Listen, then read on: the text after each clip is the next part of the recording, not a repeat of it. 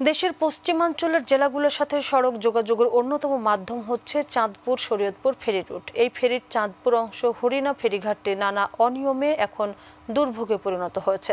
সাতটি ফেরি চলাচল করলেও প্রতিদিনই ফেরির দুপারে অবস্থান করে তিনশো থেকে চারশো যানবাহন। পারাপার হয় প্রায় আট শতাধিক গাড়ি। এসব বিষয়ে কোনো তদারকি নেই ইজারাদারদের। বিআইডব্লিউটি এর কর্মকর্তারা বলছেন দ্রুতই ব্যবস্থা নেওয়া হবে। প্রতিনিধি মনোয়ার কাননের রিপোর্ট জানাচ্ছেন শামস তাবরিজ উচ্ছ্বাস।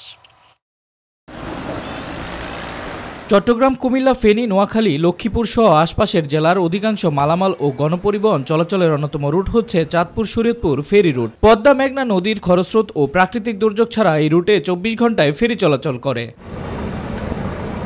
কিন্তু ফেরির হরিণা অংশে পার্কিং ইয়ার্ডটি গত কয়েক বছরে তত্ত্বাবধান না থাকায় অব্যবস্থাপনায় ভেঙে পড়েছে। ফেরি তো সবই বয়স্ক ফেরি।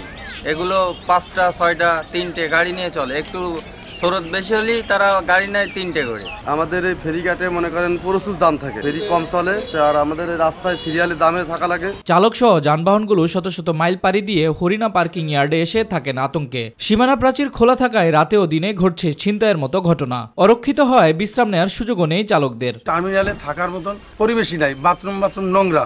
তারপরে কল আছে একটা খোলা চারটে পাঁচটা কল সব নষ্ট তো রাত্রেবেলা কোনো পাহারাদার নাই কোনো সিকিউরিটি গার্ড নাই আমাদের কোনো এখানে নিরাপত্তা নাই। মা ও আরিচা রুটে ফেরি চলাচল বন্ধ থাকায় কিছুটা চাপ সৃষ্টি হচ্ছে বলে মনে করেন এই কর্মকর্তা। মাওয়াতে যেহেতু বন্ধ হয়ে গেছে ফেরি পারাপার ওখানে সীমিত আকারে চলছে শুধু ছোট গাড়ি দিয়ে। তো সেই প্রেক্ষিতে আমাদের এখানে কিছুটা গাড়ি চাপ বেড়েছে এবং আরিচা আরও বেড়েছে। আমাদের উদ্বোধন কর্তৃপক্ষ অবগত আছেন।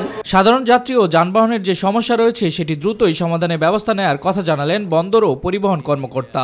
ইজারাদারকে শোকজ করছি এবং তাকে সম্পূর্ণরূপে দায়িত্ব দিচ্ছি যাতে করে এইখানে ড্রাইভারদের এবং যানবাহনের কোনো নিরাপত্তার বিষয়ে কোনো রকম কোনো বিঘ্ন না ঘটে সেই বিষয়ে সে যেন কার্যকর পদক্ষেপ নেয়।